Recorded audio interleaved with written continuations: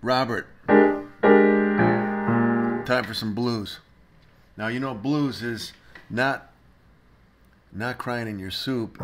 It's poking fun at your troubles.